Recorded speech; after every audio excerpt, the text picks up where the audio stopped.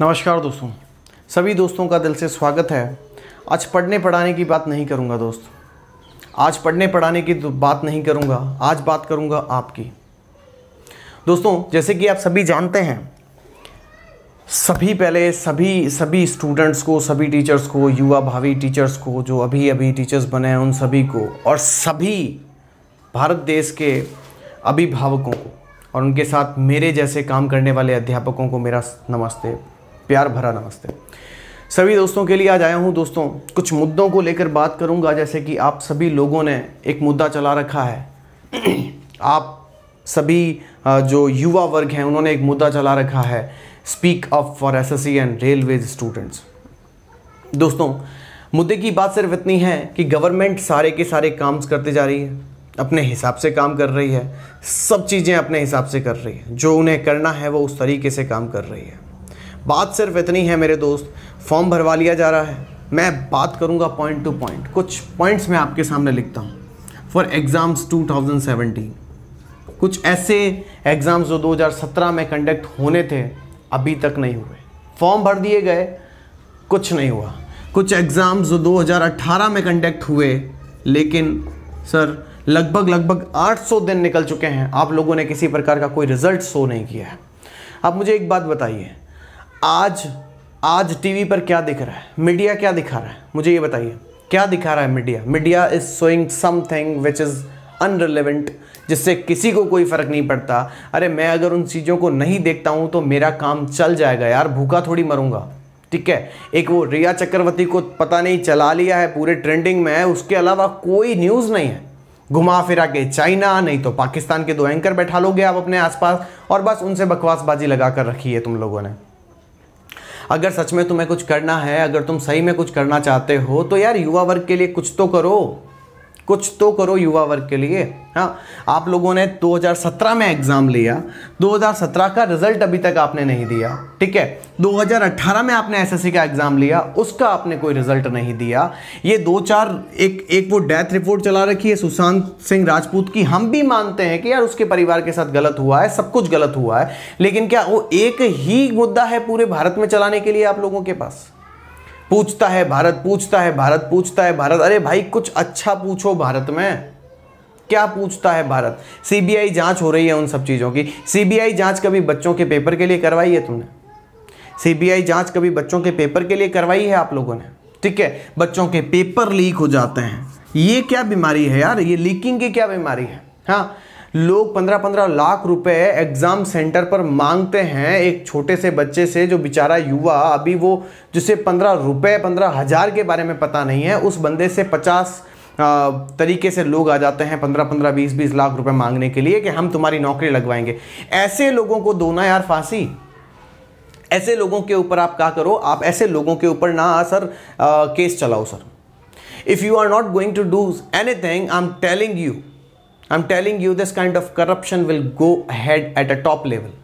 So what kind of working, what kind of working in, in our in our fundamental and uh, infrastructure is going on? You should think about this सोचो तो सही यार मुझे एक बात बताओ लोग ना ब्राइब ले रहे हैं साफ़ सीधी ब्राइब है तुम एक काम करो तुम एक काम करो मुझे पाँच लाख रुपए दे दो मैं तुम्हें तुम्हारी नौकरी लगवा दूँगा बहुत सारी न्यूज़ देखते हैं हम दो मिनट में सौ न्यूज़। अब सौ न्यूज़ में क्या है? किसी ने कोई सांप पकड़ लिया किसी जगह पर, उसको बता रहे हैं। अरे भाई साहब यार, सांप पकड़ लिया। छोड़ो ना आप सांप को। क्या करना है सांप से हमें? ठीक है। किसी ने किसी को जूते मार दिए, कोई किसी के शूटिंग हॉल में घुस गया, उसकी बहुत ज़बरदस्त पिटाई हुई, उसको उसको उसको गंजा कर दिया गया। अरे यार, क्या करना है एक आम आदमी को उन सब चीज़ों से? ये तो बताओ। क्या करना है?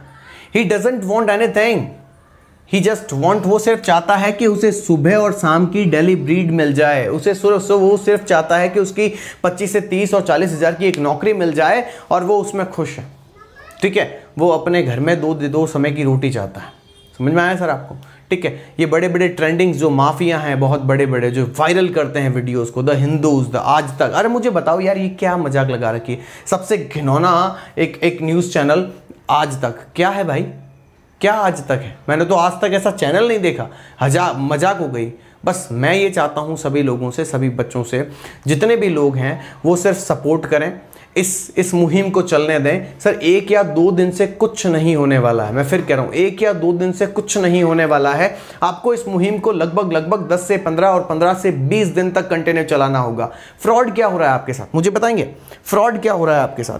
फ्रॉड आपके साथ ये हो रहा है, सर, कि आज आपने ट्रेंडिंग बनाया, दुनिया का सबसे बड़ा, दुनिया का सबसे बड़ा ट्रेंडिंग बन चुका है speak up for SSC and railway students Twitter handle को हिला दिया है हम लोगों ने। हल्ला बोल दिया है हमने। अगर हम इतना कर सकते हैं तो हम गवर्नमेंट तक अपनी बात पहुँचा सकते हैं गवर्नमेंट को अच्छे नियम सिखा सकते हैं। आप ऐसे लोगों को ले जाकर बैठे हैं, जो कि कंटिन्यूसली कोरोना का बहाना कर रहे हैं। अब मुझे एक बात बताइए, सर, हमें भी घर में काम है। सबको दो रोटी चाहिए। कोरोना तो मारता मारता मारेगा साहब, भूख पहले मार देगी, ये याद रखिएगा। ठीक है? हर किसी को, हर किसी को काम की ज़रूरत है। और आप लोग इस तरीके से खिलवाड़ कर रहे हैं। सर, नब्बे हज़ार वैकेंसीज निकाली आपने रेलवेज़ में। नब्बे हज़ार वैकेंसीज आपने रेलवे में निकाल दी, सर। मुझे एक बात बताइए, इस नब्बे हज़ार वैकेंसी को प्राप्त करने के लिए लगभग लगभग एक पॉइंट ज़ीरो आठ करोड़ लोगों ने फॉर्म भरा था। सर एक पॉइंट ज़ीरो आठ करोड़ लोगों ने फॉर्म भरा था। सर, पाँच सौ से इंटू करो ना, सर। सर, चौदह अरब के आसपास पैसे रुपए होते हैं, सर। क्या बात कर रहे हो? वो पैसा कहाँ है, सर? आप लोग सिर्फ़ पैसा ले रहे हो, कुछ नहीं कर रहे हो। ये ये चीज़ें समझो तो सही, कम से कम इन चीज़ों को आप वैल्यू निकालिए सर। नब्बे हज़ार पोस्ट के लिए अगर एक देश के अंदर एक करोड़ आठ लाख लोग या आठ हज़ार लोग भी, अस्सी हज़ार लोग भी अगर फॉर्म भरते हैं तो ये समझ लीजिए सर कि वैकेंसीज की कितनी ज़रूरत है, बेरोजगारी कितनी बड़ी है, हर इंसान, हर युवा किस तरीके से नौकरी पाने के लिए जद्दोजहद में लगा है सर। हर मीडिया चैनल कुछ ना कुछ बकवास बताया जा रहा है। पूरे दिन उसकी बकवास चलती है। ठीक है? मैं किसी सरकार के ऊपर अंगुली नहीं उठा रहा हूँ, सारी सरकार अपनी जगह ठीक है। लेकिन साफ़ सीधी बात है सर, जब आप युवाओं के भविष्य से खेलेंगे तो फिर कोई नहीं सुनेगा। सब लोग कहीं ना कहीं अपना अपना जीवन सेव करना चाहते हैं, वो दो समय की रोटी खाना चाहते हैं, उनको लगता है कि वो भी गवर्नमेंट के, इंडियन गवर्नमेंट के सदस्य बन सकते हैं।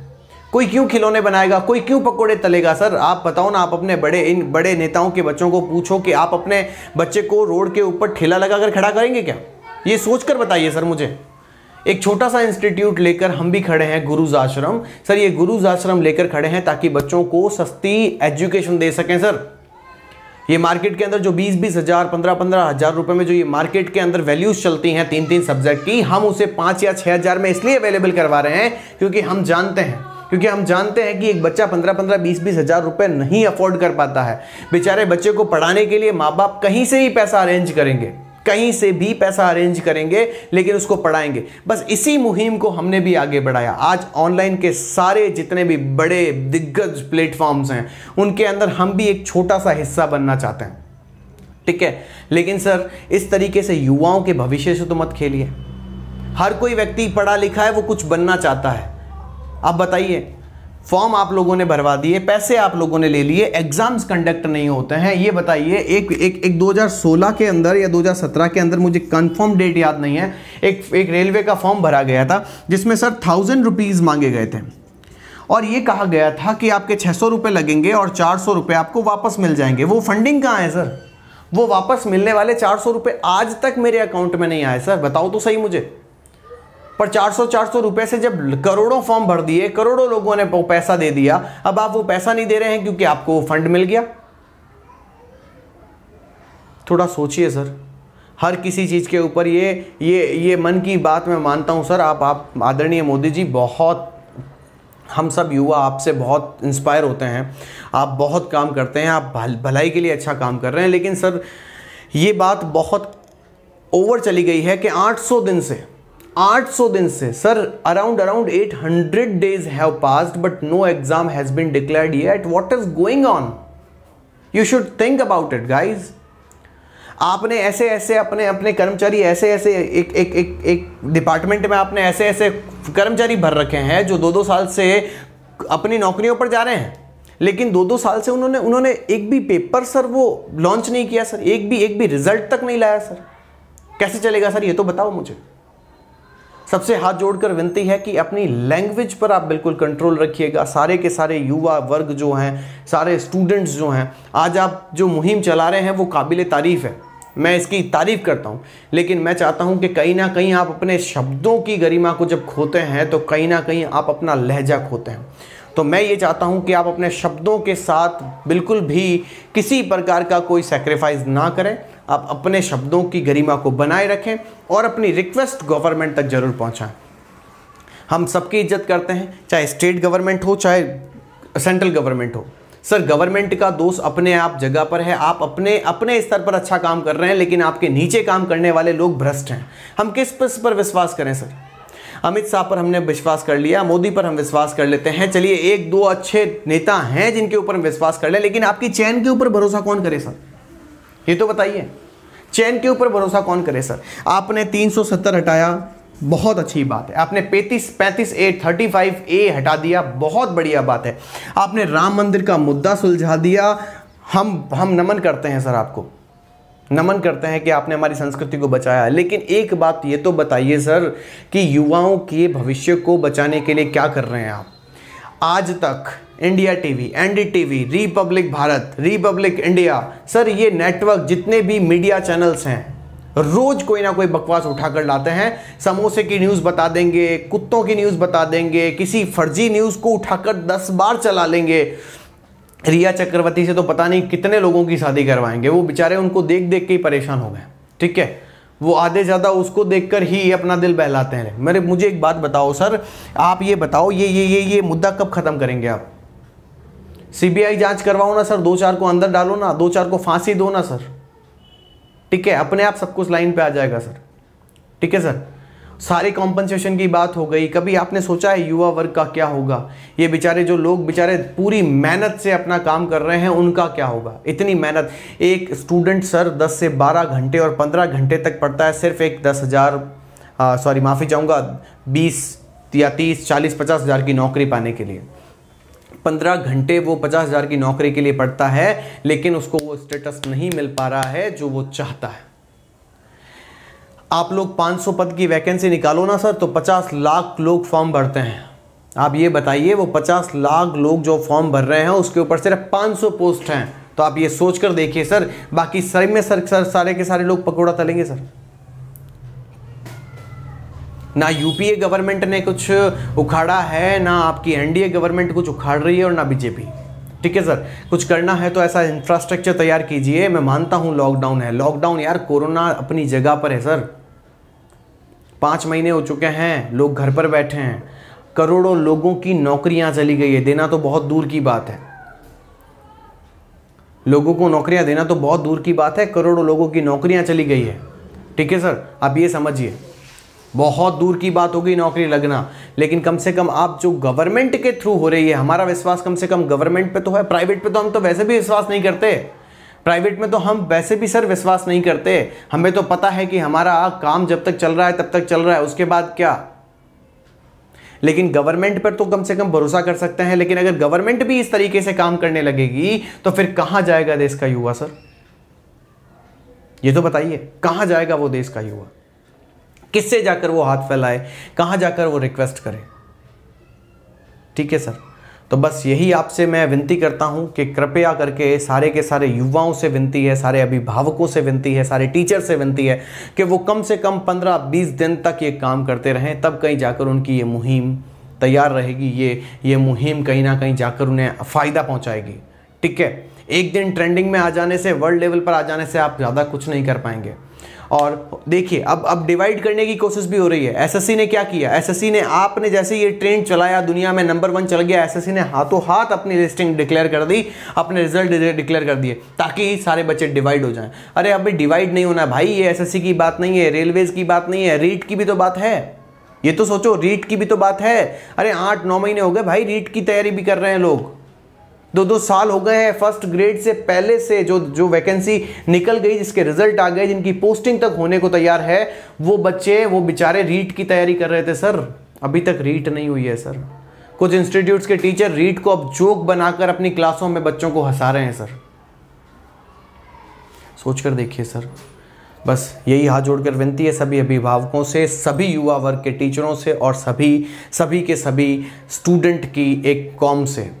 शब्दों पर अपना का, अपना नियंत्रण रखें और अपने पूरे दिल से इस मुहिम को चलाए रखें। कोशिश यही है गुरुज आश्रम भी इस मुहिम में शामिल हुआ है कि कहीं ना कहीं कहीं ना कहीं हम आपकी बात को एक मुद्दा बनाकर आगे पहुँचा सकें। हम भी हम भी इस ऑनलाइन प्लेटफॉर्म पर काम कर रहे हैं ताकि हर गरीब बच्चे तक ये एजुकेशन का काम पहुँच सके और बहुत सस्ते में पहुँच सके। बस आप लोगों से इतना ही कहना चाहूँगा कि अपनी मुहिम को चलाए रखिएगा। एक दिन से कुछ नहीं होता। बस गवर्नमेंट को हमारे सामने झुकना होगा। उन्हें डिसीज़न लेने होंगे मेरे बच्चे। जय श्री कृष्णा। सबको राम राम।